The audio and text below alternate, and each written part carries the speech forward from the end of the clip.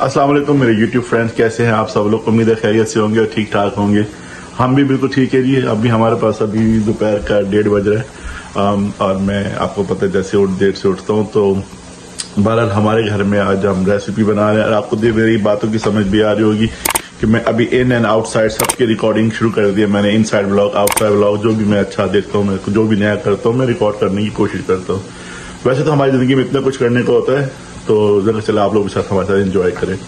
तो अभी हम बना रहे हैं जी लंच लंच मेरी खैर रात पे खाएँगे ये तो मैं कहा आपके साथ शेयर करते हैं कि हम क्या बना रहे हैं।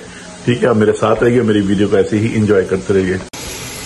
तो ये जनाब हम बना रहे देखिए ये मसाला बन रहा है, प्याज, टमाटर एंड इसमें हरी मिर्च हैं और ये देखिए ये ये बन रही है जी पालक एंड चिकन चिकन एंड पालक बन रहा है जी तो हमने कहा आज आपका ये रेसिपी भी शेयर करते हैं।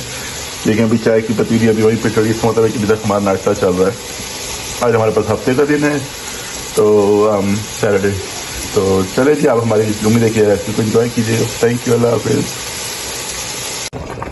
तो फ्रेंड्स ये देखिए, ये जनाब हमारा चिकन एंड पालक जो है इकट्ठे बनेंगे, क्योंकि हम लोग जरा डिफरेंट तरीके से पालक बनाते हैं, क्योंकि पालक के अंदर चिकन का फ्लेवर जाना चाहिए तो मज़ा आता है। तो ये जनाब पालक एंड चिकन बन रहा है। तो बहुत मज़े का बनता है हमें बहुत पसंद है ये। हमारी पालक हमारी बहुत फेवरेट है हमारी सारी फैमिली की। तो जैसे मैंने आपको बताया कि पालक चिकन का इतना ज़बरदस्त कॉम्बिनेशन है आ, पालक है इसमें कितनी ताकत फलाद होता है आयरन होती है और चिकन के अंदर प्रोटीन होते हैं तो इसका बहुत अच्छा कॉम्बिनेशन है। तो मुझे पता है कि आप सब लोग भी इस कॉम्बिनेशन को पसंद करते होंगे और सब लोग बना के खाते भी होंगे। तो मैंने कहा, मैं आप लोगों को दिखाता हूँ, इंशाल्लाह फिर मैं आप लोगों को इसका फाइनल वर्जन भी दिखाऊँगा कि कैसे बन के निकली। और मज़े का बनता है। और अगर आपको मेरी वीडियो अच्छी लगे तो ज़रूर बताइएगा और आप लोगों कैसे बनाते हैं ये भी बताइएगा।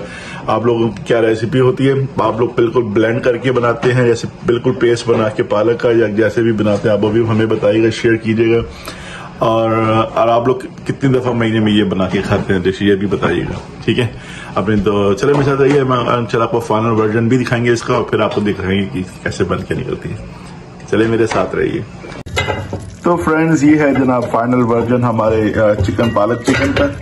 ठीक है जी, देखिए कितना खूबसूरत बन के निकला है। अब इसके ऊपर हरी मिर्चों सॉरी हरा धनिया की गार्निशिंग होगी।